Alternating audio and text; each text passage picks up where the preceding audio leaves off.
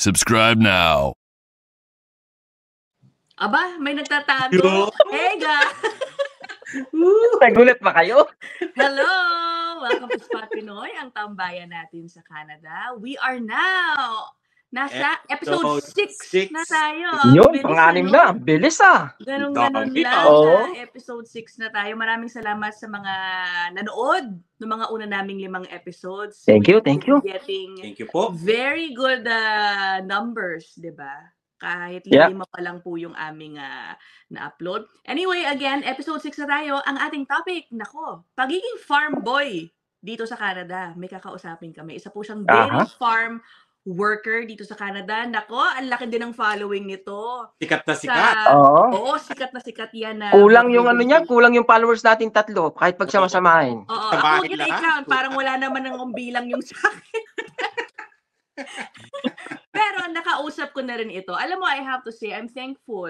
Dahil isa siya sa mga unang ah, nagpa-interview sa akin kahit halos wala pa talaga, hanggang ngayon naman wala pa halos akong ah, following. So anyway, he's a nice guy. Intro na po natin siya. Siya ay walang iba kundi si Ferds Zorbano aka Ferds TV on Hi, hello YouTube. po. Hi Ferds! Thank you sa inyong pong tatlo na ina-idol ko dito sa Canada. Woo! Nako, ikaw Yun, ang idol. welcome first, welcome. Oho, Thank you. Hinahangaan Oo, si- po kayong tatlo. Ayan, teka, ito ang kanyang YouTube ah, account. Tignan nyo naman, tumataging Napakadami, no? na Oo. 68.7 thousand of Sana all. subscribers. Sana all. Sana all. Bigyan mo naman ano ang ng konti niyan, Ferds. Ano bang gamit mo? Ano? Camera talaga? Ah, hindi po, ah, iPhone lang po. Ah, iPhone. Ah, okay. may dala akong Oo. GoPro ganan. Kala ko camera. oh. drone. Tsaka drone. Wow, may Ang drone. mayaman. Mhm. Baka madala natin sa drone, Mark. Ah, Oo. hindi. Hindi, kasi minsan ah, gusto kong ma-explore yung mga lugar dito sa BC. Tapos sinishare ko sa mga kababayan natin yung magagandang spot. Saan ka nga sa BC, Birds? Ah, sa Abbotsford po, ah, ah, 50 minutes away from Vancouver. Ah, malayo ba yung ano? Alam mo ba yung Kelowna? Ah, ang Kelowna is 4 hours dito mula sa amin. Ah, malayo Papuntang- pala, no? papuntang Oo, Alberta malayo pa rin. May Papuntang pupunta Alberta yata doon eh. May pupunta ba doon, Rice? Siguro. Hmm. well, anyway. Hindi, yun, ah, okay. Birds. Oh, welcome. Welcome sa Spot Pinoy, Welcome Birds, to no? uh, Spot Pinoy. Si Ferds ay uh, sa kanyang vlog, syempre, uh, buhay Canada din. You know, uh, he gives advice to those who want to move to Canada. Pero bago nga kami nag-record kanina, no, sabi niya, it wasn't an easy start for Ferds. Although Aha. ngayon, syempre, happy na siya at komportable. Happy pa rin sa pagiging ah, dairy farm worker dyan sa Abbotsford.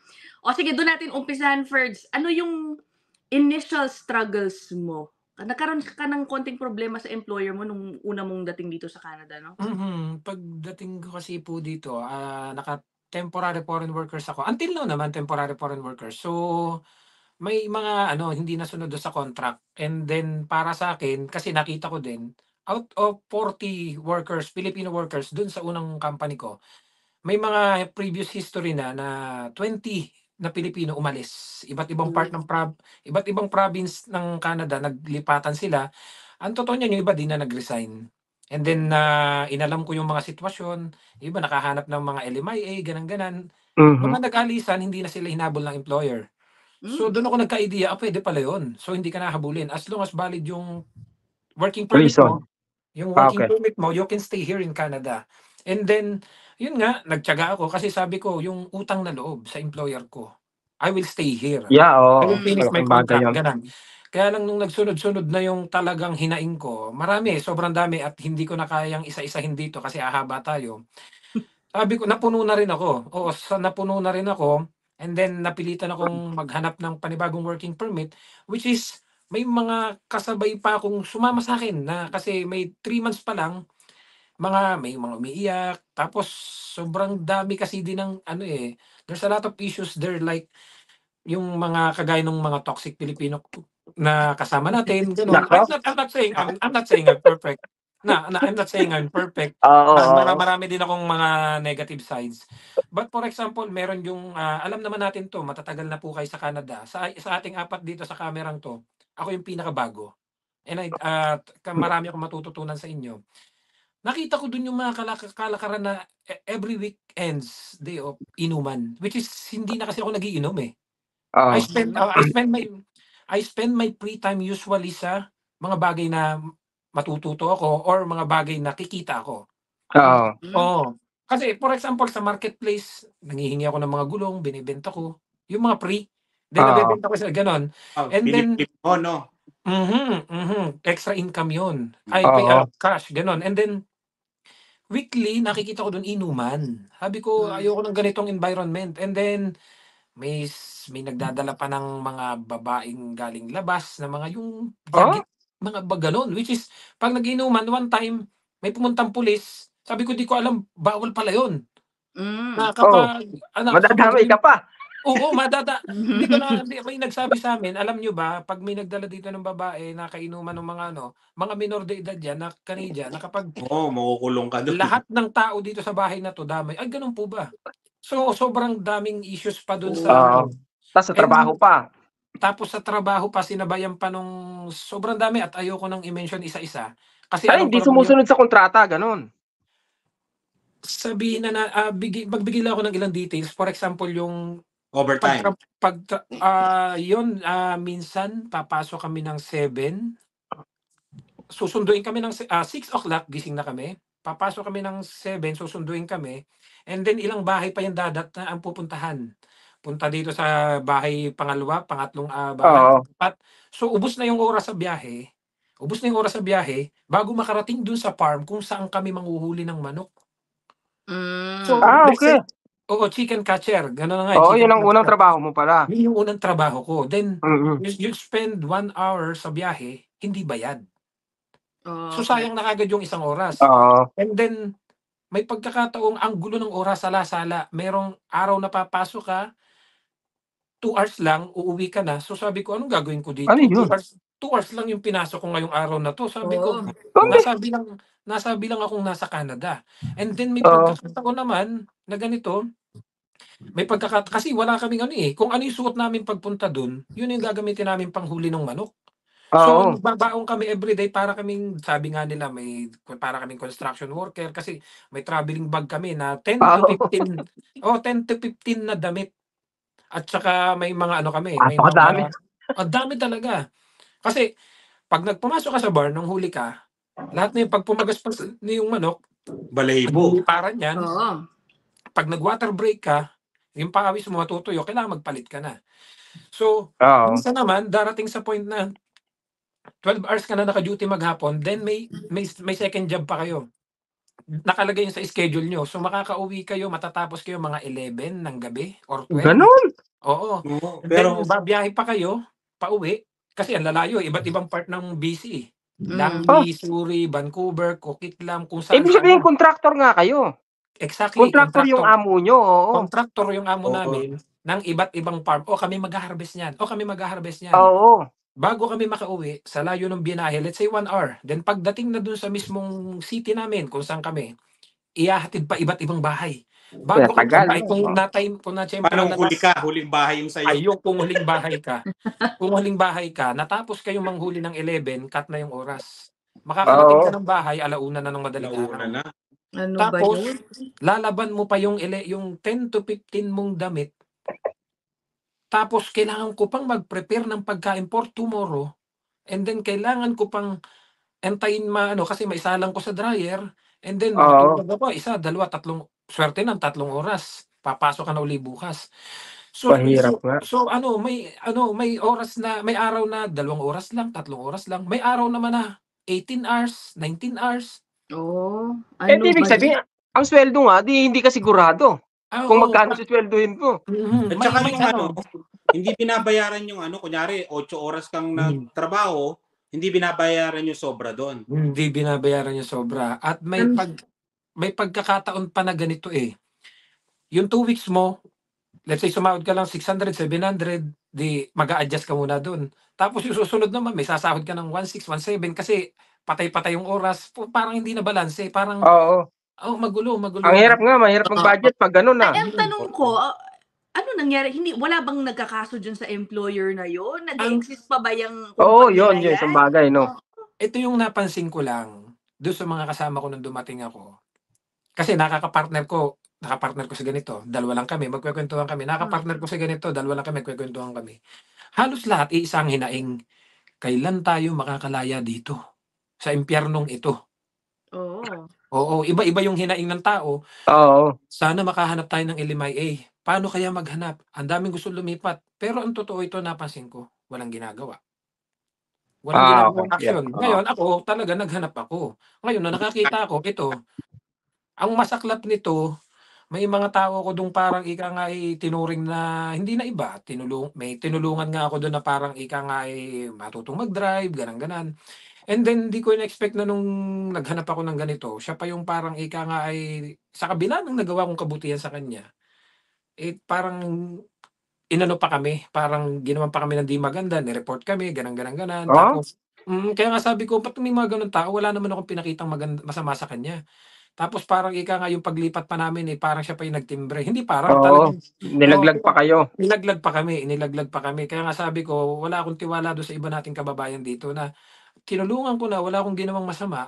Hindi na lang maging masaya ay kapalaran nila person eh, gusto nilang lumipat eh. Parang Oo. ganun eh. Ngayon, nung nakahanap na kami ng, ng panibagong trabaho, ang totoo niyan, marami sa kanila nagme-message sa akin, pwede ba kami dyan? Oh. Oh, sabi ko, tamo nga naman ng tao. Nung time na hindi nila alam yung kahihinat na nung ginawa namin, ano, ang sama-sama tingin sa amin, may mga Oo. nagsasabi na mali yung desisyon namin, may mga nagsasabi na ano, wrong move kami, may mga ganang-ganan. Pero nung nakita nilang maayos na kami, kasi nagpahinga ako sa vlog that time, 3 months eh. Tapos nung nakita nilang maayos na kami, may mga nagme-message, pwede ba kami dyan? Pwede ba kami makalipat dyan? May mga nagpapatulo. Actually, may napunta nga dito, biglang sasabihin, kaibigan ko yung sabi ko, ha? Paano ko na, biglang nagiging kaibigan ko eh. kaibigan ko yan, pwede ba kaming ipasok dyan? Sabi ko, tamo nga naman ng Pilipino. Nag-name drop pa, no? Uh, Kaya, Yan, mga toxic, no? Mga toxic, hindi Mhm. maiwasan talaga. Ano ba yan? Mhm. First, Pero na- maitanong ko lang yung paglipat Dapat may muna, no? mag-complain dyan, ah. Dapat may mag-complain doon. Ano ba yan? Dapat hindi na yung nag-hire ng temporary foreign worker kung ganun. ano po Diba? kasi, Ah, a- ano po kasi eh, ah, ganito ano, may nag may mga kinuko kasi bawat desisyon ko, binabasa ko yung mga nagbabasa ako eh sa IRCC ganun oo, ganun. yun, yun ang pinakamaganda. Yan ang dapat at the same gawin. and at the same time, hindi ako nagdedesisyon ng akin lang. At the same time, lumalapit ako sa mga consultant na kaibigan natin na which is na-interview ko na rin. At nabibigyan ko sila ng mga client. Parang yun yung Ah. in, in return. Then ito, nahingi ako sa kanila ng advice. Then may nagsabi sila sa akin.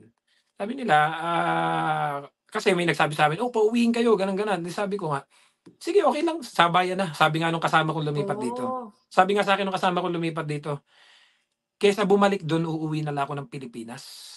Sabi nung Oo. kasama ko Ganong lumipat dito. kasama, no? Ganong kasama yung sitwasyon Oo, doon. ganun na talaga sinabi niya gano'n. Ngayon, nasabi ko naman, sige, sabayan na. Kapag ginawa nila tayo ng di maganda, ilalabas ko lahat yung conversation, lahat ng mga hindi magandang karanasan doon. Kasi mahilig ako mag-save ng mga evidence eh. So, Oo. sabayan na, parang gano'n. Ngayon, nung ano, ayoko naman po kasing ganito. May nagsabi nga sa amin i-report, ay ayoko na po kasi Ma'am Ina na ika nga ay pag ginawa ko yun, sabi sa akin, ito yung consequence na kalalabasan niyan pag nagsabi ka ng ganyan. Madadama yung ibang workers doon. Possible hindi na makakuha ng Tao. business permit at saka tao, yung mga Oo. natin. So ayoko, kumbaga sabi ko nga, naging maayos na naman yung nalipatan ko. Ayoko nang idama yung sitwasyon ng ibang tao doon. Naku po. Mhm, parang gano'n na lang po. Kumbaga, nasa gano'n silang sitwasyon, ginusto nila yon eh hindi na akong gagawa ng paraan para mawala sila sa gano'ng sitwasyon. Sila na. hmm. Mhm. So, ibig sabihin, Perds, ang style ng paglipat is kukuha, kahanap ka ng bagong employer na magbibigay sa iyo ng lamiya. Ang totoo po niyan, marami kasi ako din minsan hindi sinasabing totoo sa vlog ko. Oo. Kasi kapag sinabi ko yung totoo, ang sasabihin ng mga hindi nakaranas, mali yan. Hindi tama yan. Oh, totoo, totoo. Oh, hindi, yun nga yung nakakatawa. Yung walang Oo. karanasan, sila pa yung mayabang. Opo, yung walang karanasan, yun yung mayabang. For example, ganito. Ah, ang dumating ka dito, working permit mo hanggang na PR ka, isa lang. Hindi mo Oo. naranasang lumipat transfer. Wow. Ngayon, ngayon, yung mga, ang totoo niyang talaga, kung babasihan natin yung talagang sa IRCC, you'll need to find a new em- ah, employer na mag issue ng LMIA so they can issue, ah, they can apply for a working permit. Oo. Tama, tama A po. new Ano po? one. Oh. mag apply ka ng work permit pag may Oo. LMA ka na. Kasi Mhm. sa amin yan, ah, dagdag ko lang, dati 'di ba mahirap nga yung trabaho nun sa amin. Ah, tapos ah, lumipat sila, tatlo yun eh, tatlong lumipat ng kumpanya. Mhm. Lumipat din. Pero yung trabaho ni na nilipi, nilipatan nila, parehas din dun sa trabaho namin, warehouse din. Kumbaga So? kahit naka-close work permit sila sa trabaho ko, nakahanap pa rin sila ng employer basta magbi magbibigay ng Lamia. lamiya ng work Mm. permit. Ganun. Oo. Oh. So, Sino yun, mag-a-apply ng work permit, Perds? Eh, hindi. Nangyari kay Perds. Oh. yun, po, yun po talaga ang dapat noon. Ah, halimbawa, may nakausap ka ng employer, ah mag issue ka ng LMIAS. So, ngayon, ipapaprocess mo yun sa consultant. Ah, kung may kung, kung ganito, kung may consultant na kakilala yung employer, siya na Mhm. magpaprocess doon. Kung wala naman, sabihin mo doon sa employer, Sir, ah, ah, basta ako nang bahala, ako nang bahala maghanap ng consultant na magpa-process. Or Oo. kung ayaw mo namang mag-DIY, ikaw na lang. Ngayon, pag nakuha mo na yung LMIA, pa-process mo sa consultant, ibayad mo. Ngayon, paglabas ng working permit, makakapagtrabaho ka na sa kanya. Oo. Ngayon, Oo. Marami kasing ganito. O sige, i-reveal ko na dito sa ano, first time ko gagawin to dito. Para, de, para, de, parang ika nga, ano ko na lang dito para sa channel na to. Marami kasing ganito talaga. Hawak nila yung working permit nila na luma. Nag-start na sila dun sa ibang employer. Sa bago. Nila yung previous nilang working permit. Oo. Wala pa yung panibagong, yung bagong working permit Naka-close nila. pa rin sila. Naka-close pa rin sila Which is illegal. which is illegal pero uh, they keep it in silent.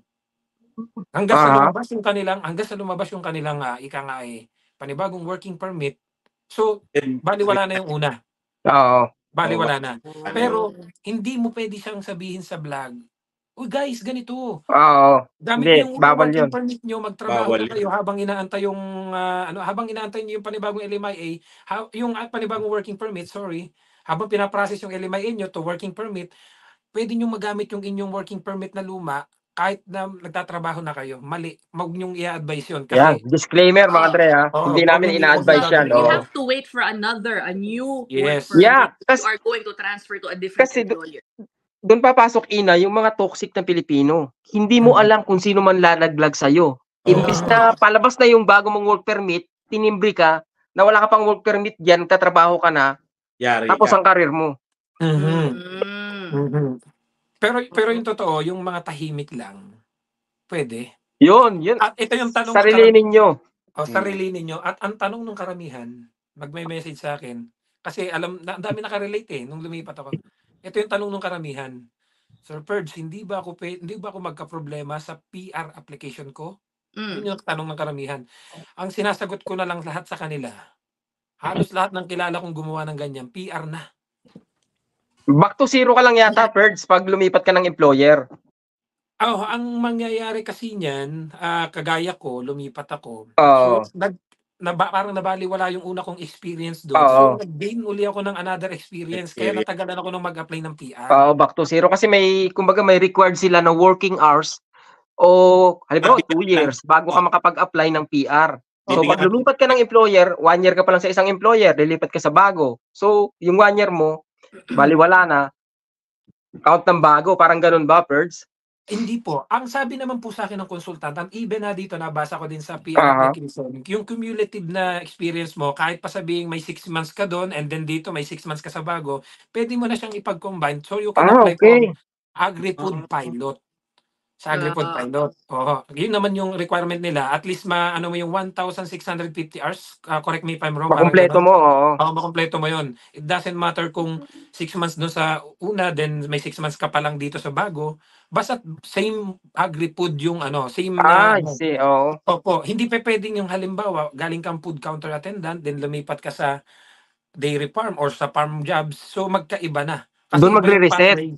Oo, magre-reset na siya. Pero Oo. kung same lang na farm, magagamit mo siya. 1,600 Perds, mga kalahating buwan. Ah, kalahating Ah, taon. One year Ah. po, one year. Tarang One ganun, year. One year. Opo, Oo. one year. One year siya. Oo. Mhm. Ano ba yan? Well, anyway, o sige. Hayaan na natin yung mga dati mong kasamahan doon. Sige. Mhm. Bahala. I hope ba, you're doing well. kang ano, ah, bad experience, di ba? Ngayon naman, yung mga Oo. good experience mo. Kasi sa Canada naman, hindi naman lagi puro good experience. Ayan, Kulang ang show na to para sa bad experience. may mga bad din yan. May mga bad. Hindi naman Mhm. lahat, 'di ba? Kaya kailangan pagka 'yun, pag magbo-vlog ka, mula yung totoo, hindi yung Oo, oh, totoo lang. Para pagdating ng mga pupunta dito, alam na nila yung gagawin nila. Meron silang Okay. idea, 'di ba? Yes po, yes. Kaya Oo. tama yung sinasabi ni Perch, tama. Okay, now, let's go to yung bago ng employer ni, hindi naman bago, pero yung nilipatan Aha. niya nga employer. Nandito na siya, oh, nakalipat na. dairy farm ka na, no? Tinan mo, Mhm. oh, I got some screen grabs sa first. I hope you don't mind. Ayan, no? Nasa Yeah, farm siya. yan. Ayan. Yan, yan na kayo nakatira, di ba, Perd? Sa Oo. ano lang yan? Sa compound? Tabi lang. Oo. Yan lang ang meron ako. O, go. Ano ang ginagawa mo doon na, Ferds? Oo, Okay ka Ferds. na? Ang okay naman, bali para kami nagpo-production, nagmi-milking kami ng mga baka. 1,000 cows every day. 1,000 cows every day. Ang ginagatasan. Oho. Ang kagandahan lang kasi dito sa napuntahan ko, ah may supply kami ng beef. Tapos magbibigay ng egg si boss. Tapos yung bahay namin, ito, itong buong kwartong to is 120 lang yung accommodation. Wow, wow, wow. 20? Oo. 100. Tira. Mhm. Yun, doon Doon pa nagkatalo. lang- Doon pa lang panalo na. Oo, doon nagkatalo. Mhm. Kaya sabi ko nga kahit papaano malaking save. And tapos yung 'di ba kalimitan alam naman natin dito na two ano na sa two weeks is ah, kalimitan 80 hours lang yung ano. Oo. ah ah, di- dito talagang medyo aminin ko naman talaga yung totoo medyo pagod pero ganito lang yan eh. Gusto mo ng marami kasi sabi ko nga dati wala akong inuoras, wala akong kikitain. Tapos sabi ko gusto ko ng maraming oras. Ngayon binigyan ako ng maraming oras. Ayoko nung magreklamo. Oo. Kasi baka, baka magalit si Lord. Baka mawala na naman, no? Si Lord baka mawala na naman. Oo. Oo. Hindi laging ano, laging meron kayong overtime niyan. Actually, ano din po eh, hindi ko masabing perfect din itong nalipatan ko. Pero para sa akin po, ay nakakasave ako dito. Hindi ko, syempre, ah, parang ganito lang yan. Oo, totoo, kay, ah, gusto kong sabihin lahat yung totoo, na kasi ayoko din naman yung iba mag-expect na puro maganda lang dito sa napuntahan ko. Oo, tama yun. Pero ang totoo lang yan, ayoko din naman, kumbaga, para sa akin, bahay ko na to eh. Pamilya ko tong trabaho ko. Oo. Kumbaga, kung ano yung nangyayari dito sa pamilya ko, sarilinin ko na lang muna. Yeah, tama yung, mga, naman. yung mga hindi magandang nangyayari dito, sarilinin ko na lang muna kasi na dito ako sa bahay ko. Ika nga eh, pagdating sa OT, hindi ko masabing bayad yung lahat. Pero Oo. kung ano yung oras mo, bayad talaga. Oo. Yung OT, hindi ko sasabihin bayad kasi kita naman talaga sa payslip namin at na-discuss ko na yan dun sa farm worker salary which is yun yung pinakang mataas na views ko, yan, 1.8 million views na parang ganon. Oh, Wow, wow. dami. Isang Oo. video lang yun, ha? Oo, Wow. kaya nga, yun yun, yun, yun, yun, yung nagparamig. Ah, na-discuss ko kasi siya doon, yung sahod namin. Then maraming nag-comment na hindi maganda doon sa pagdating doon sa, Sir, ang dami mong oras, 140 for 2 weeks, 130. Mm. Oo, 130 for 2 weeks. Sabi niya, Napakadami nga. Oo, Oo, tapos, parang ano na siya. Para kang nagtrabaho ng isang buwan. Oo. Sa dalawang Oo. linggo lang. Oo. Oo. Oo, kaya sabi ng iba, hindi bayad yung OT. Eh. Di, Siyempre, sabi ko nga, sa ibang panahon ko na lang siya i-discuss. Kasi Oo. nga, kumbaga, bahay ko to. Kumbaga, parang Oo. sisirain ko yung bahay ko. Tsaka isa pa, nasa process ako ng PR application ko. Ay, kumbaga, ano ko to? Kumbaga, Oo. saka na lang siguro. Ah. Mm, kailang, kumbaga, ibi, sasabihin ko lahat ng totoo sa mga viewers kasi ayoko nga ng sugar coat. Pero magtira naman ako kahit 10% man lang ibigay nyo na sa akin. Oo. O parang ganun lang. Hindi ganun talaga. Kumbaga, minsan may kailangan kang i-compromise. Kasi nga, especially kung yung, alam mo yung part, may inaantay kang ano eh, parating eh, di ba? Oo. Ma-PR ka muna at least. Pero magkano ang rate ng farm? Ano lang po, nasa 18 lang po ang bigay sa amin dito. 18. Oo, 80. Pero, kasi nga 150 ang kanilang ano. no? And, 120. Ay, 120. And you share the house with other, yung mga kasamahan mo. No? Mga Pilipino din ang mga housemates mo, di ba, Ferg? Hmm. Tama? Apo, eh, bawat kwarto, kanya-kanya kami. Yun ang kagandahan Oh, yeah. dito. Kasi yung, Saka yung before, yung before kasi tatlo kami sa isang kwarto. Oo, yan Sol. Parang nasa, gal- paano ba style? Taiwan, galing ka Taiwan, di ba, Ferds? Oo, galing akong Oo. Taiwan. Parang ano, ganun. Hindi, ang maganda dyan, ano, may supply sila ng pagkain, di ba? May, Correct. Parang Oo, paliwala na yung ano, binayad niya sa kwarto. Kaya pala Oo. nakabili ng bahay si Ferds, no? Ayan. Halos walang, ang walang binabayarang upa halos eh. so, Ah, halo. ah, hindi, ang, ang totoo Sana all, ano no? eh, na, na, na-provide ko siya, nasa Taiwan pa lang ako. Oh. Yung bahay na yun. Oo. Kumbaga, kumbaga, yung lahat ng renovation and uh, modification nun, dito na nag, Dito, ano, nasundan. Sa Canada na. Mhm, sa Oo. Canada na. Kasi even when I was in Taiwan, talagang, ano ko eh, Ah, masinop ako. ka, oh. Masinop talaga ako. Oo. Makikita naman yan doon sa mga previous vlogs ko dito, nang dumating ako dito. Ang totoo niyan, marami akong racket. Oo, Lahat- alam ko first, I remember, nangongolekta siya, yung mahilig siya mag, ah, sa recyclables, tapos. Oo. bayad. Siyempre, yung mga maliliit na yun, di ba, Ferds, it helps you Mhm. with your Tapos, expenses. Sa, ma- sa marketplace, di ba, marami dito yung lumilipat ng ibang province, hindi na kayang bitbitin. Minsan, speaker. Ito lahat to, yung home theater ko, hingi yan. Itong laptop ko, hingi. Mm. Itong, oh, lahat to. Tapos yung mga, ti- yung mga ah, u- used tires na, for example, winter tire, summer tire, lilipat ng Toronto, lilipat ng ibang province. Tapos sasabihin ko, this is this available. Tapos kukunin ko siya, itatamba ko lang sa likod. And then ipopost ko lang lahat sa, marketplace. Minsan para ako nanguhuli ng isda. After one Birds. month, after two weeks, ayun. Nabebenta, nabebenta ko siya. Oo. Nabibenta Live tayo, live. Mhm, May tanong ko, nabebenta siya. yung winter tire. Ibig sabihin, ano rin kayo dyan, kumbaga mandated din. Kumbaga, kumpul, dapat magpapalit kayo ng winter tire during winter. Mandated siya, pero marami pa din naman ang hindi nasa. Oo. Ano yung walang fine? Well, ay hindi. Kasi ano, yung iba naman kasi, pag na, pag natsyempuhan, talagang may Oo. Oo. Ba't sa Quebec may fine pag hindi ka nagpalit ng? Oo. Pag dapat pag pasok ng winter, naka-winter tire ka na. Pag nahuli ka, $300 yata yung multa mo. Kasi ako last year lang ako nagpalit ng winter tire eh. Pero sa inyo, may, wa- wala naman yata sa inyo. Bahala daw kayo sa buhay niyo. Sabi, bahala ka sa buhay niyo. Saskatchewan. ang, ang asawa ko Sa nagpapalit. Kasi talaga. alam ko kapag, kunyari, maaksidente ka, tapos hindi ka naka-winter tires during winter, problema pa sa insurance yun. Oh, Di ba? Yun, oh. Sa sampung taon to- ko dito, ngayon ko lang, ngayon ko lang, nal- tingnan mo, may matututunan ka talaga bawat araw eh. Oo, May- oo, oo. Na ano, kasi ngayon lang ako nagpalit, last year lang ako nagpalit ng winter tire eh. Kasi Dati all season. all season kami. Oo. Oo. Paglabas namin ng Asian store ni Lani, umikot kami. Sabi ko, ay, kailangan na talaga natin magpalit. Kasi mapudpud na yung ano eh. gul- mama- Hindi na pwede sa winter. Bili ka ng tire kay, per, kay Perds. Oo. Oo, ganun. Eh, meron na ako. Hindi, ano ba, diskarte talaga. Oh. Cartons tapos ka. ano, naranasan ko kasi din dito yung hirap talaga na ano, di, kasi magkakaiba tayo ng opinion pagdating sa bagay na to. Pagdating ko dito, yung mga dinatnang kong Pilipino, kaya nag, kami ni kay Rice laging ano eh, medyo may pagkakalintulad sa vlog, na-discuss na rin niya to eh. Kaya magkakaiba tayo ng opinion. Nung dating ko kasi dito, yung mga kasama ko, mga hindi pa PR, may mga naka brand new car na. So ako naman, Oo. parang, para akong na-amaze dati. Sabi ko, wow, sabi ko parang ganito yung trabaho pero may brand new car. Pwede ka Ah. rin. Parang ang daling umutang, ganon. Ngayon, that time, may mga nag encourage sa akin na hindi ko naman alam. Kaya pala ako ini-encourage, eh meron sila makukuha sa dealership. Baka Hindi ko alam 1,000. yun. Hindi ko alam yun. Siyempre, ako naman, sama ako sa dealership, pero hindi ako kasi nagdi-decision eh. Bago ako uh, gumawa ng isang decision, pinag-iisipan ko siya ng thousand times talaga. So pagpunta ko sa dealership, kinompute ko yung sasahurin ko, ganan, doon lang mapupunta. Tapos sabi ko, 2 years working permit, 8 years to pay na sasakyan. Sasakyan. Sabi ko, Oo. No, no, hindi tama, hindi tama to. Oo. Kaya naranasan ko, naglalakad muna ako sa snow, pag may bibilin, ganan. Kasi ayoko kasi nung parang makikisuyo ako nung pasakay-pasakay, tapos nakasimangot, parang napipilitan lang yung makikisakay ka. Oo. Kaya sabi ko, kaysa nakasimangot, mag-taxi na lang ako or maglakad ako. Kaya that time, aminin ko sa inyo, ito, first time ko din sasabihin sa inyo, nagsangla ako ng ATM.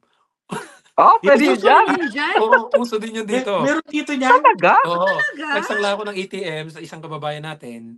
Pagkasangla ko, actually ayaw niyang ipa-mention yung ano, sabi niya, huwag niyo na sasabihin na basta kasi bawal yun sa kanila. Pero Oo, marami bawal. sa kanya nagpapasangla. Ngayon, sinangla ko yung ATM ko for, I think that 3,500 ganun. Oh. Then my first car is 2009 na Ito ba to? First, may nakuha ko eh. Is it this one? no ah, pang ah, pang-apat na car ko na po siya. Ay, ah, ay. Naka, Apat na palit. Apat na palit lahat second hand, binebenta Oo. ko siya, kumikita ko. Oh, discount. May alam ka ba sa Oo. sasakyan, Perds?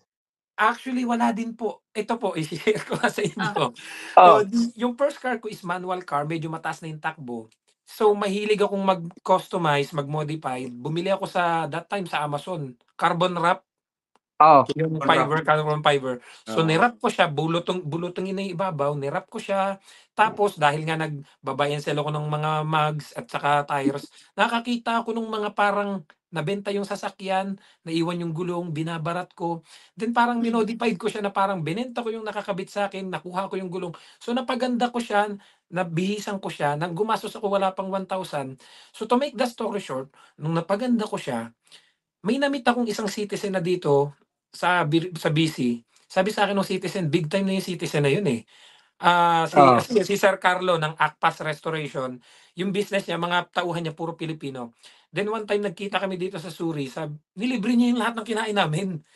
Mm. Sabi Ah. ko, wow, ang simple ng lalaki, naka-bike lang siya eh. Pero hindi ko alam, business owner pala siya. Oo. Nilibre niya kami, tapos sabi niya, asan yung Karma Pearl? Sabi ko, ito po.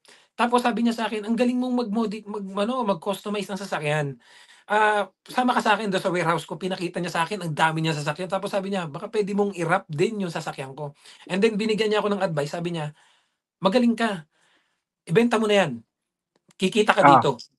So sabi ko, sir, mahal ko yung sasakyan na yun eh. Pero eh, trinay ko na i-post. Ah, tapos may nag-inquire. Sabi ko, ha, tubo ako ng $2,000. Sabi ko, Oh. "Eh, 80,000 pesos na yun ah. Parang kahit mahal na mahal ko yung sasakyan ng una kong sasakyan na pinagsanglaan ko pa, Napilitan. napilitan ako, napilitan ko ibenta. Tapos sabi ko, ay, siyempre, ano, sabi ko, my God, parang ang sakit sa puso ko na wala yung sasakyan ko. Pero ang nakikita ko 2,000 is 80,000 eh. 2,000. Pero, Oo. pero tumaba naman yung bulsa mo. Mhm.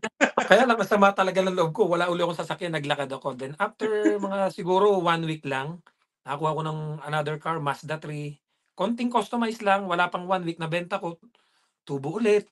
Then Wow. pangatlong car hanggang sabi ko, ang hirap ng walang car kaya itong car na to na ngayon, Ah, yan. Yang Lahat nandyan. ah, Ah, lahat Oh. ng kinita ko diyan, yan ako na nag-ayos niya, nag ako nag-modify niyan, ako nag-customize na niyan. Ibig sabihin, marunong ka talaga mag, ano, mag-wrap ng sasakyan. Birds. ano lang po, sa YouTube lang, and then pag-aaralan ko siya, bibili ako ng gamit. Kasi may ako yung parang, ah, I can call myself as a DIY person. Kasi Oo.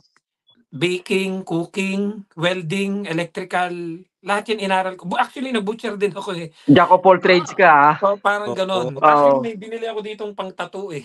Gusto ko din mag-aral mag-tattoo. Oo, totoo. Eh, Hilig ako hindi sa mo ano. to, Eh, police Di sisimulan mo sa muna sa Pardo. yan, Birds. Sisimulan mo sa sarili mo. Oh, hilig ako ditong ano eh. Bili ka na rin, Perds, ng ano, ng barber chair. Hindi ko pa lang siya nagagamit kasi nga ano, wala pang time kasi nag study po ako ngayon, nag-aaral po ako ngayon. Oh, Oh, nang. Talaga? Opo. Ano inaaral mo, Ferds? Ah, ano po, Bachelor of Science in Office Administration kasi po dumating po ako dito, ako po high school graduate. So pag sa pina-assess po yan sa West, ah grade 10 lang po dito sa Canada. Nag-assess na po ako eh. Eh kaya lang po nung time na yon nung nag-apply na ako ng PR, actually kompleto na yung requirements ko. Medyo nalungkot ako kasi sabi niya sa akin, mag-upgrade ka ng education. Eh syempre dahil bata pa ako talagang wala talaga eh. Uh, Oo. family naman kami. Wala talaga akong pang-aral. So napilitan ako puro abroad na, Saudi, then Taiwan, then dito sa Mhm. Canada. Hindi ko na makuha mag-aral. So Oo. ngayon, nakuha ko tong ETAP, yung parang kay Manny Pacquiao ba? Oh. Oo. Yung ah, one year mo lang siyang iti-take pero equivalent siya sa four years course. Okay. Oo, pag pina-assess mo siya sa West, nakalagay doon is four years bachelor degree. Saan ka Nung- kumuha? Saan ka nag-aaral niyan, Birds? Sa Cavite po, sa Philippine Christian University. Ah, online. Opo, Mm. opo. Oo.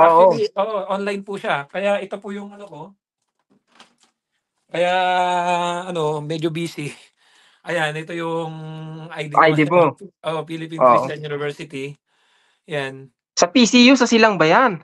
Sa DASMA po. Ah, sa, oo, sa Palapala pala, Palapala. Saka sa DASMA. Palapala, Kaya ano, minsan sobrang busy, di na makagawa ng vlog kasi nga ano, sobrang dami kong inaasikaso, do, dami kong inaano. Kasi mahilig talaga akong ano, mahilig akong 'di ba natanong mo ka kanina, marunong ako sa sasakyan. Hindi po, nanonood Oo. na ako ng paano mag-check ng sasakyan, ano yung check, pag Oo. overheat, ganan-ganan. Yun lang. Tsaka siyempre nagdadrive tayo, pag feeling natin may kakaiba, may kumakalog, may gumaganon. Ah, Lagi ikaw nakukulong. gumagawa. Mm, ganon, ta pinag-aaralan ko mag-change oil, Oo. mag, ano. Kasi mahal dito eh. Oo, napakamahal dito. Malaking bagay na may alam ka sa sasakyan, di ba? Mhm. Kaya Okay, kailangan kamu- practice mo rin maggupit. Mahal din ang gupit dito. Oy, let me show, uh, first, tinan mo, binalikan ko yung dati nating conversations. Meron akong papakitang picture sa inyo ni Ferds noong Aha. siya ay bata pa sa Pilipinas. Hmm. Okay? Kasama ang kanyang nanay. Oh, Mhm. diba? Nagtitinda, ah, si Ferds, um, ang mami niya, nagtitinda, saan area kayo nagtitinda itong mga, anong stand ng mama mo, ano, Ferds? Sa Lucena City po. O yan, Lucena, tingnan mo, Ferds has come a long way. Ah, naalala ko ang kwento sa akin ni Ferds noon. Yan, lagi siyang kasama ng nanay niya. Tutulog ka dun sa ilalim, mga ganun, Mhm. di ba? Oo. O, di Ang Ngayon, ang layo na ng ah, narating mo, Ferds. Pero, Ferds, ano, ah, nag-apply ka dito sa Canada, high school graduate. Opo, high school graduate po ako. Graduate.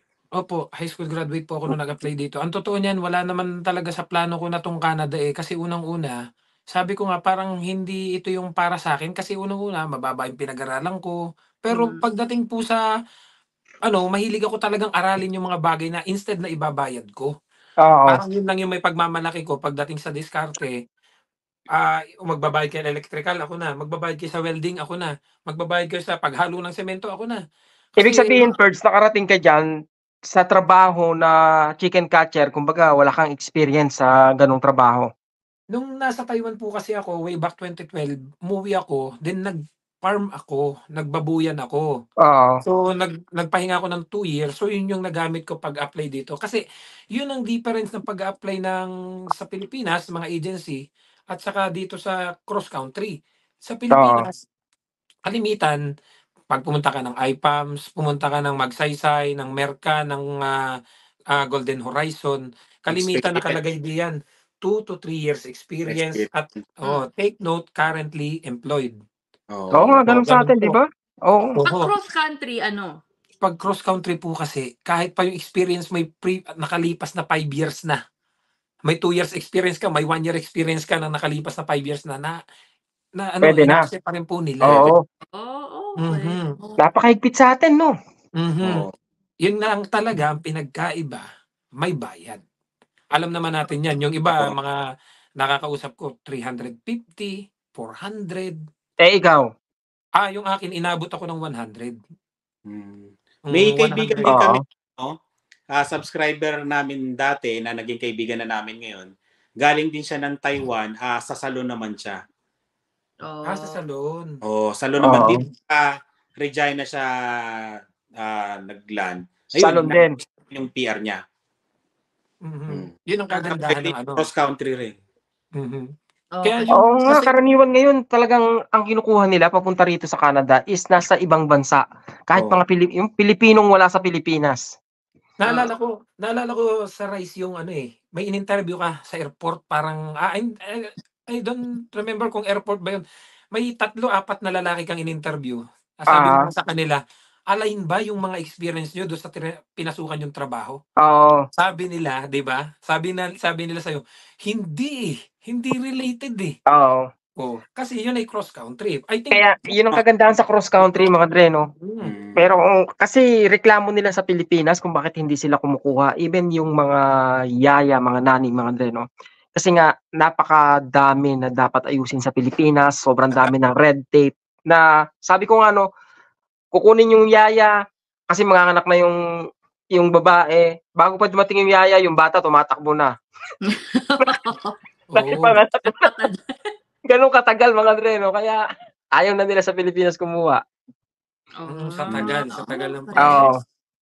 I see. Teka, ah, yung, first, yung sweldo ng ah, farm boy na nabanggit mo naman kanina. Sabi mo, yan yung episode nga niya na sobrang ah, daming views. Oo. So, starting niya na sabi mo, 80, no? Ang bigay sa inyo. Anong sina- sinasabi mo sa mga followers mo na nagsasabing, 18, sulit ba yan? Ah, parang, ah, um, sapat ba yan para sa Oo. akin pagpunta ko dyan? Makakaipon ka ba dyan? Oo. Oo. Total, ikaw, marami kang ipon mukha dahil ma o nga sa pera, sabi mo. Mm. Paano mo ginag binabudget yung 18? Tapos, mahalaga ba kasi kung saan silang probinsya mapunta if they are going to come to Canada as a farm boy? Oo. Former. Kumbaga, may ki- mala- yung kinalaman ng sweldo Oo. sa lugar.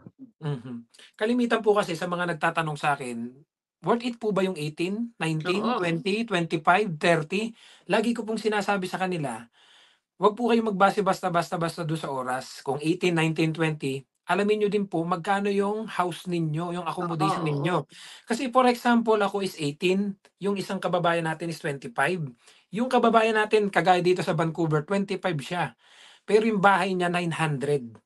Oo, Mm. di ba? Laki- tapos, Laki. Oo. Tapos ang akin is 18 lang, ang bahay ko is Wow, 120. 120. Oo. Ang inooras niya is 80 per 80 hours per 2 weeks, ang inooras ko is 120. So, case to case Ang basis. dami. Oho. Oo. Kaya nga po sabi ko sa kanila, ako nagmi-minimum 120, 130, 140. Kaya nga sabi ko nga, hindi po hindi ko po masasagot na pag tinanong niyo ako, 18 po ba worth it na? 19 po ba worth it na? 25 po ba worth it na? Ah, sabi ko po lagi sa kanila, basahin niyo yung contract niyo, magkano yung accommodation ninyo, and then ah, tawag dito, i-balance niyo ilang oras kayo every two weeks. Kasi kahit po may nagsasabi sa akin, ay maliit ka lang, 18 ka lang. Ang sa akin lang po, nakakasave po ako. And at the same time, and at the same time, hindi ko na po nababanggit sa kanila yung other income ko. Kasi syempre, Oo, yung pagbabay and sell mo. Oo, hindi lang sa pagbabay and sell. Hindi, ah, aminin natin, ah, hindi na naman to Ah, kailangan. wala, Kasi yung YouTube. vlog niya, Oo. dami Oo, yung yung YouTube. YouTube naman natin, Kuya Rice. Ano Oo. si Kuya Rice, alam ko ano na yan eh. Kumbaga, alam na, yung YouTube naman natin, malaking tulong talaga bagay, sa akin yung napakalaki. YouTube. Oo. Malaking tulong talaga sa akin yung YouTube sa totoo Ah. lang. Ah, yun yung isang bagay na nagpagaan sa buhay ko, Oo. yung YouTube. Ang laki, malaking Sana tulong talaga, mga all. Dre. no? Kaya thank you sa inyo, mga Dre, ang ha? Sana all dito. Salamat, ha? Oh. salamat. Kahit kami, di ba, sinabi ko yung sa last epi- sa episode natin yata, di ba dati na, kung wala yung YouTube, me- medyo mahirapan talaga kami kung wala yung YouTube. Kaya welcome po sa mga basher, no? Mag-comment lang po kayo sa baba at wala pong problema dyan. Oh, salamat, salamat. Pag-usapan natin yan. ah, hindi, ang totoo niyan, ano eh, yung balik, baliktad nga eh, kagaya nung in-interview ko ni Ma'am Michelle Milante nung nakaraan. Hi, Michelle! So, sobrang haba nun, sobrang haba nung interview yun, na-share ko dun lahat ng struggles hanggang sa naging maayos ako. Oo. Ang ginagawa kasi niya, kinakrap niya, ine-edit niya yung video. So may isang part dun na yung pagkakakrap niya, puro parang puro reklamo lang yung nasabi ko. Pagtingin ko, umabot ng kalahating milyon yung views, tas puro bash ang inabot ko. Hindi nila Ah. sabi, sabi nila, siguro yung taong yan walang tiyaga, siguro yung taong yan walang diskarte, siguro yung taong yan. Sabi ko, nahusga, sabi ko nga, Anong opinion mo sa ganung bagay, Ferds? sabi ko, hindi, sabi ko na lang, ang mga, ang nasabi ko lang, ang mga kapwa natin Pilipino masyadong judgmental. Hindi pa napapanood yung buong video, na, nahusgahan na kagad ako. May nagsasabi, hindi daw, wala daw akong tiyaga, umuwi na ako ng Pilipinas. Binabasa ko, yung nagsabi Oo. na sa Pilipinas. Tapos, hindi ako nag, nag-reply sa kanila kasi sabi ko nga, yung mga taong judgmental kasi, in, mapapanghusga, husgahan din sila ng Panginoon, sabi ko nga ganon.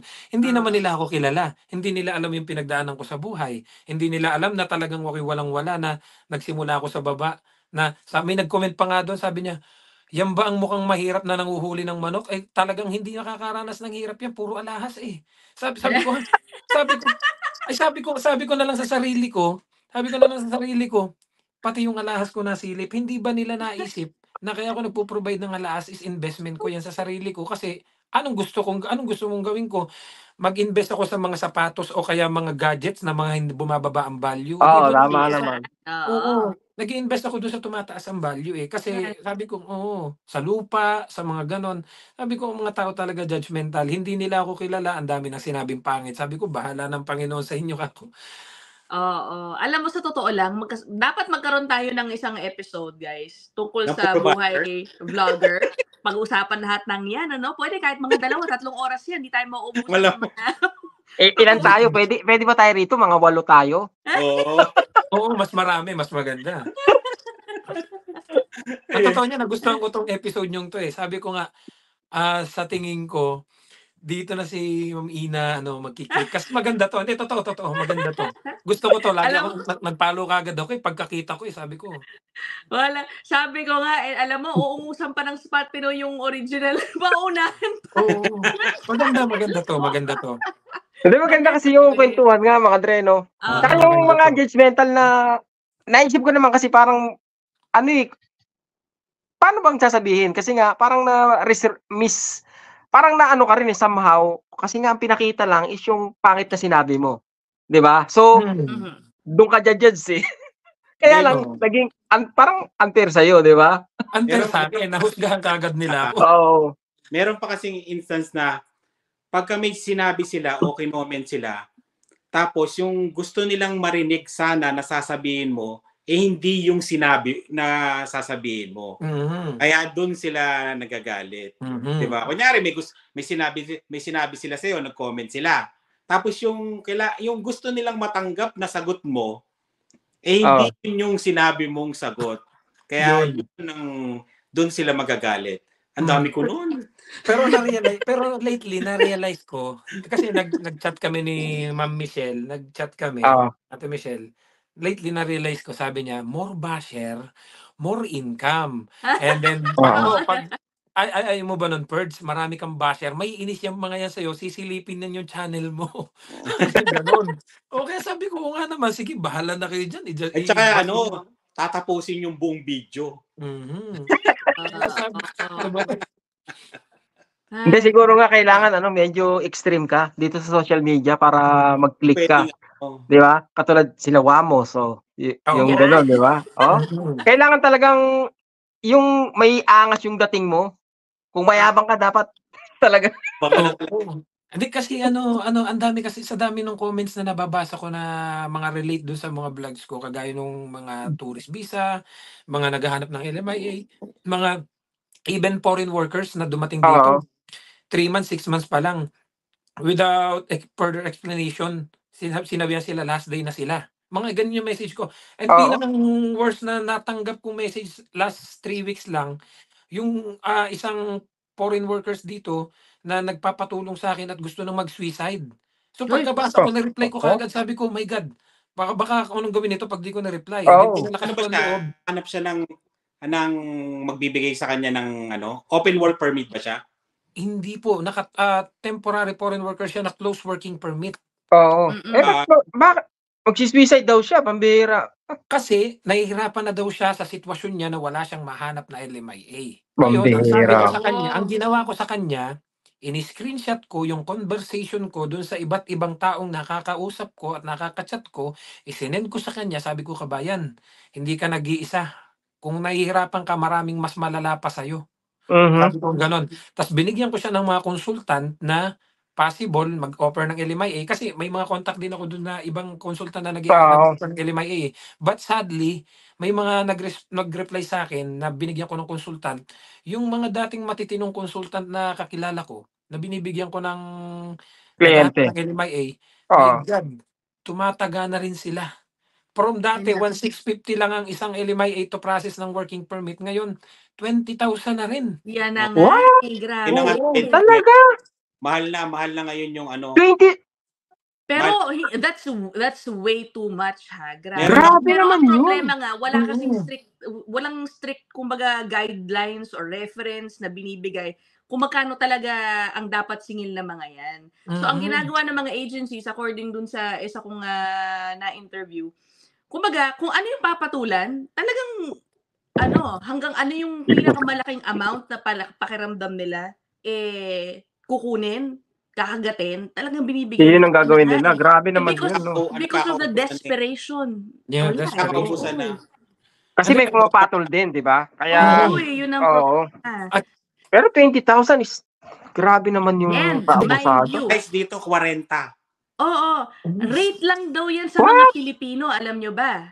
Ang 40. usap-usapan, Oh my God. Anyari? Pilipinos, May narinig ako dito 40. 30 to 50 sa mga Pilipino daw ah. Pero kapag ibang lahi na alam nilang mas ah, may Mas kaya, mas may pera. yaman, umaabot ng 100, 150,000. Ang masaklap po kasi nito, naobserbahan, naobserbahan ko yung, Canadian dollars po yan. Oo. at Na- ano sabi ko nga minsan tinatanong ko yung sarili ko, sinong nagpauso nitong ganitong pamahalin yung ano? Kasi base sa obserbasyon ko, kalimitan yung ilang kilala kong gano'n na gumagawa ng gano'n, kabayan natin, na nakapag-asawa ng puti. Sabi ko, sinong nagturo dun sa puti? Pilipino pa Nasa- rin.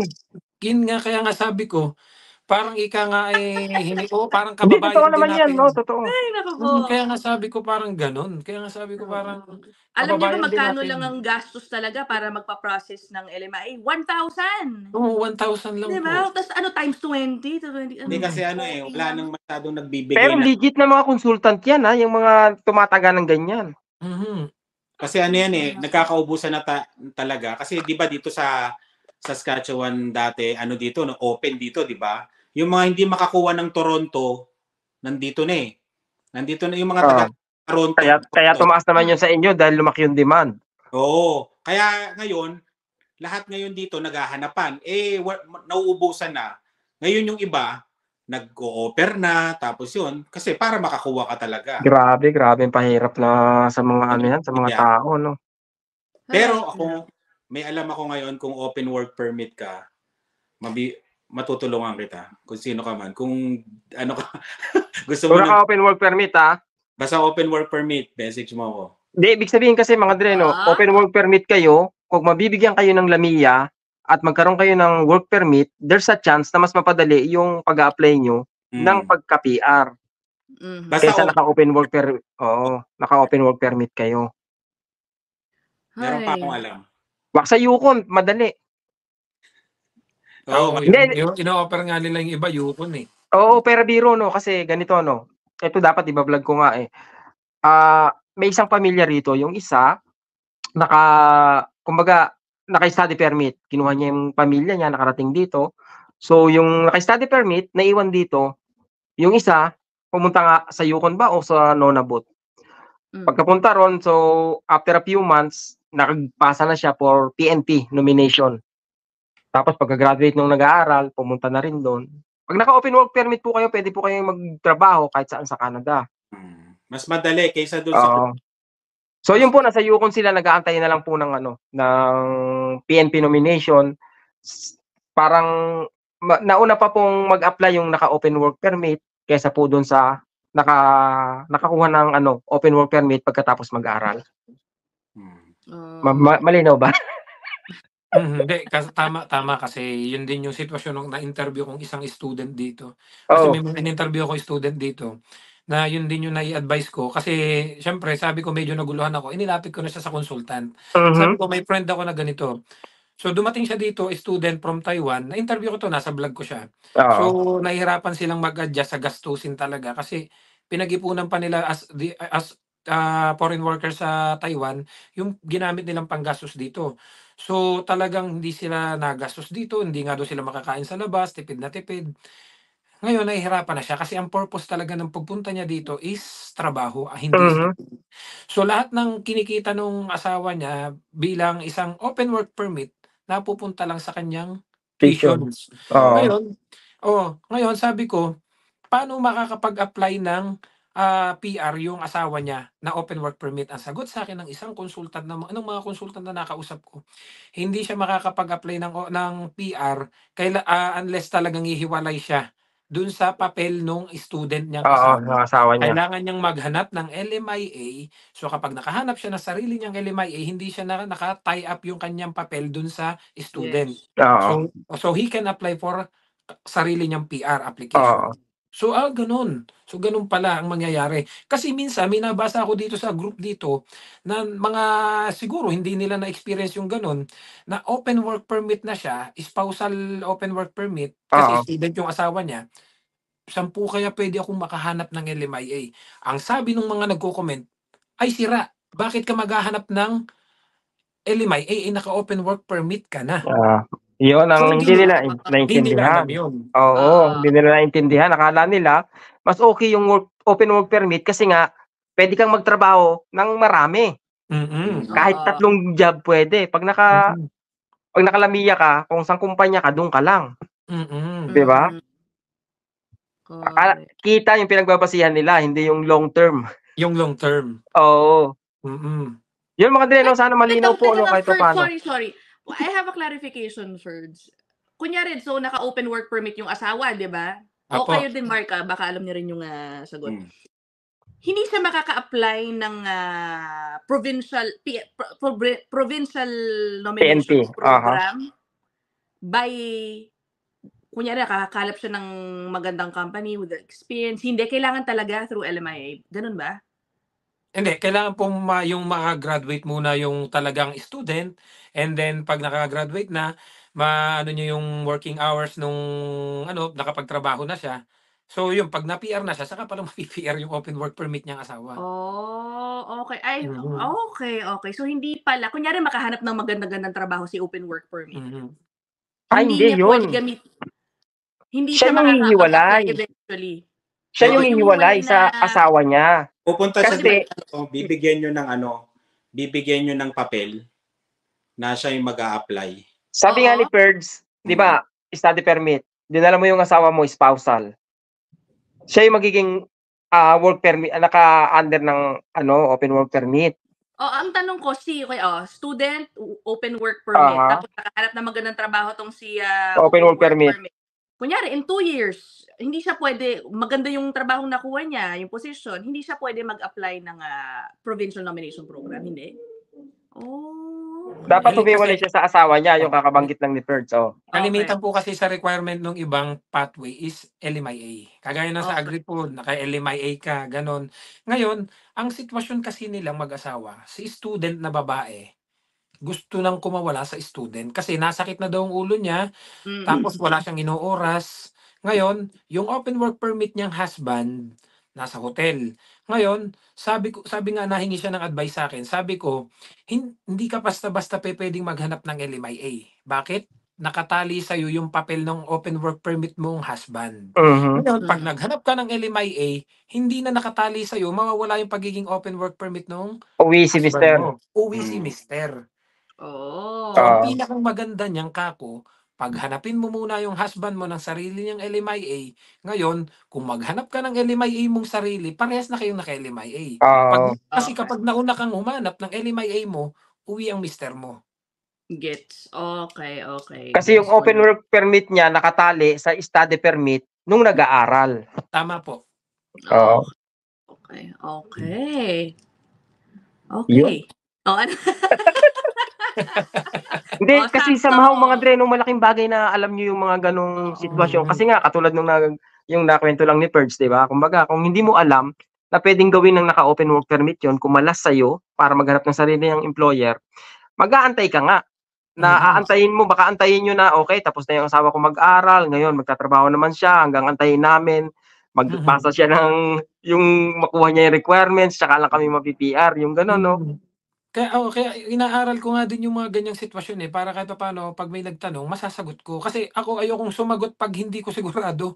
Kasi Oo, ayoko mahirap. tanong, pag tinanong nila ako, sabi ko nga doon sa mga subscriber ko, hindi po ako nagmamagaling. Pag tinanong niyo po ako, di ko alam, dediretsuin ko po kayo, hindi ko alam.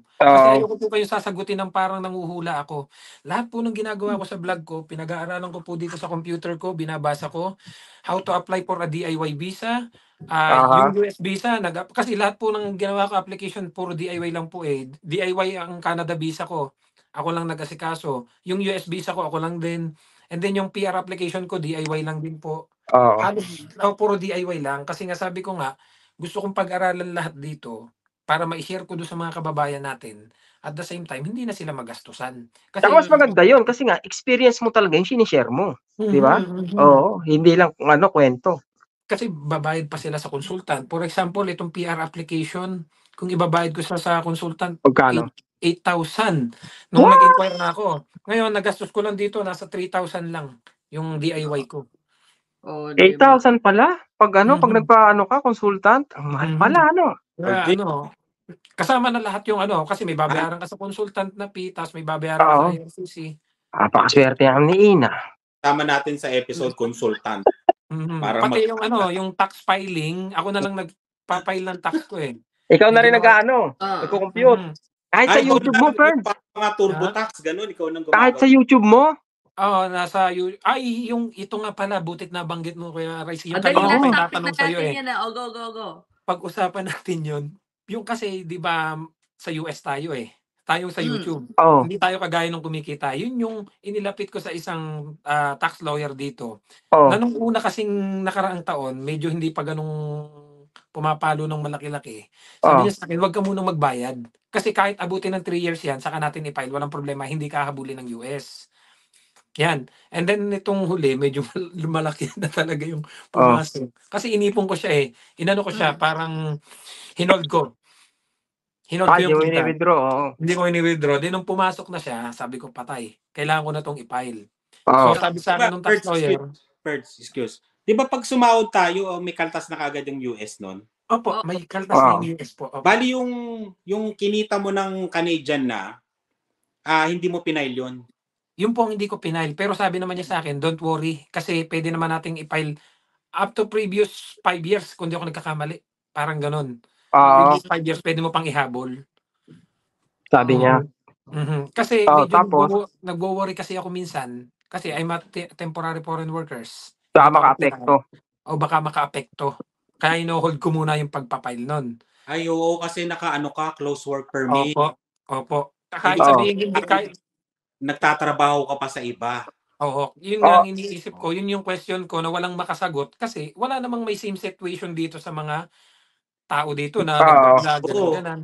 Oo, Oo kaya nga buti. no? ah, Actually, nag-message ako dati kay Kuya Rice kaya lang siyempre nat- na siguro. Sa ano sa sa YouTube niya. Nagtanong Oo. ako tsaka kay Kuya Inags kung paano i-file yung ano, yung sa tax. Kasi na, na-discuss niyo na dati yan eh nung binabanggit niyo makita niyo sa YouTube eh Oo. kung paano nyo pinapile dito sa Canada yung tax. Kaya lang, napaisip ako. Sabi ko, lahat sila PR na.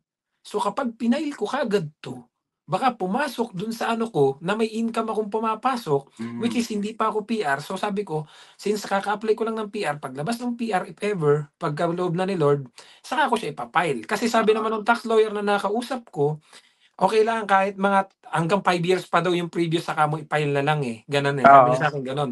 Ngayon, kasi hindi, nam- hindi ka naman million pang kumikita. Sa bagay, Mm. totoo naman. Mm. Kaya sabi niya, paglabas na lang ng PR, saka mo na lang i-file. Kasi ikay naka-temporary foreign workers. Pero may tanong pa din sa isip ko na sabi ko, consider ba yung YouTube na part-time? Eh, hindi naman ako nagtatrabaho sa ibang employer dito sa Canada. I don't, hindi, I sa think it's a bagay. gray area. Mahirap pa. Oo. pa- Oo. Para yeah. siya kasing ano eh, ang style ng extra income, ganon. Kasi Yun. nag-file kami ng tax, Pero, extra Mhm. income yung ano niya eh, yung parang business ang dating. Oo. Parang business. pero, palagay mo, hindi naman siguro makaka-apekto pagdating sa Hindi. Laminia o sa work permit. Hindi naman siguro. Kasi ano, tsaka ano, sana lang dumating na yung ano. Hindi naman sa tingin ko, hindi naman. Hindi naman. Sa tingin ko, hindi naman. iba yung sitwasyon ni Perds eh. Kasi nga, Oo, iba yung situation sa ko bagay. eh. Iba yung- Kasi sabi ko nga, itong mga to PR na ako, kaka-apply ko pa lang. Oo. Tapos may pumapasok sa aking income. Sabi ko nga, let's see, malalaman natin. Sabi ko nga sa totoo lang, ah, minsan hindi maiwasan nag-overthink ako. Sabi ko nga, ah, kung ano yung kaloob ni Lord, tatanggapin ko. Kasi if ever talaga, halimbawa, nagka-problema tayo sa ganong sitwasyon, na doon na sa sitwasyon na ganon, oh, may ganang-ganang ka pumapasok, ganang-ganan. Sabi ko, tatanggapin ko. Kung kapalaran ko talaga yung Pilipinas, edi uwi ako. Yeah. Oh, sabi ko ganon. Pero sabi ko naman, hindi naman siguro. Hindi, hindi Kasi- naman siguro. Tsaka, Mm. immigrate kung tax lawyer na yung nakausap mo eh. Di ba? Mhm, Pwede naman daw, pwede naman daw i-file na Oo. later kasi hindi ka habulin 'yan kasi tingnan mo Barya-barya. Yung, ano, oh, barya pa lang 'yan. Kung 'yan yung mga hundreds of thousands na yung babayaran mo sa tax, eh, wala pa naman. Sabi niya sa akin ganun. Oo. Ah, okay po. Oh, Safe pa tayo, mag. Safe pa. Oh. Talaga ba? Talaga Ay, ba? Safe pa. Bale. nagpa- nagpa-file kami ni Rice. Yeah. Hindi, nagpa-file naman kami. Hoy, Ano, by the way ha, guys ha, ito ha, sa mga YouTuber po no, kasi nagkaroon ako ng concern. Dahil may mga nakausap ako na kung saan, mga dreno, parang nagkaroon sila ng problema sa tax filing. Hindi naman nila problema. Hindi ko alam kung ni-request nila sa mga nagko-compute sa kanila na balansehin yung tax nila. So, ang nangyari, hindi sila nakagbabayad ng tax ng tama. Parang ganun po yung lumalabas, no? So, sinisingil sila ng gobyerno. Sabi ko, ang tanong ko is, paano ka ako yung nag-compute? Wala bang liabilities yun? Kasi siya nga yung Oo. nag-compute nun eh. Di ba? So, ang sagot sa akin, wala daw liabilities yung mga nag-compute dahil at the end, ikaw daw yung pumirma. Pinirmahan mo yun na umaagree ka kung ano yung lumabas sa computation. So, parang nasa sa'yo lahat ng responsibility. Walang liabilities yung nag-compute. Mm. Talaga? Ano ba? Yeah, may nagsabi sa akin ganun. Oh. Ano? Well, anyway. O, sige. We Yun, will ingat have lang, an mga Dre, no? ah. Pag-usapan natin yung isang buong episode eh, ang ah, pagiging ah, vlogger dito sa Canada. Oh, pagiging Para vlogger, sa- yan. Maganda yan, vlogger, ano, sampu tayo dyan, oh. Sampu. Sige, isang sentence lang tayo. Mm. At pag-usapan natin lahat ng ano, ng mga pangit na karanasan. Oo. Oo, pwede, pwede, pwede.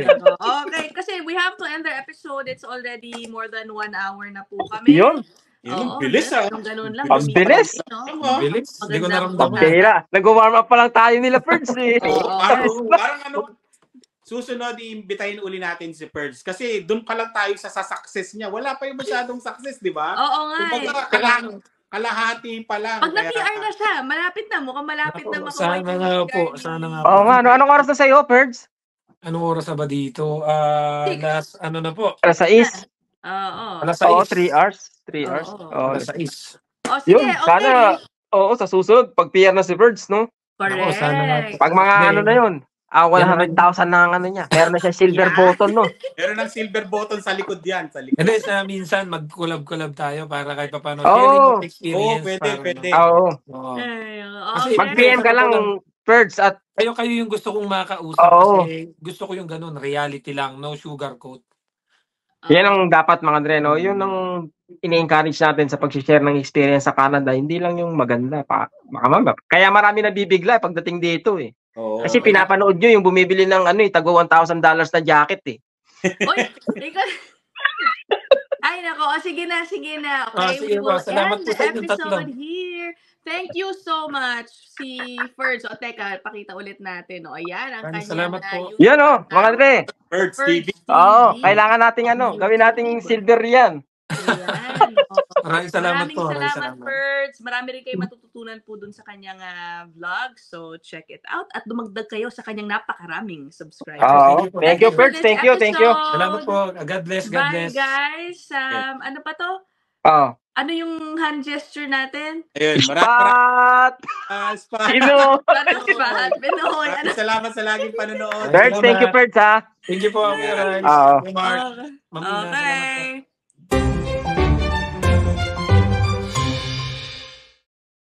Subscribe now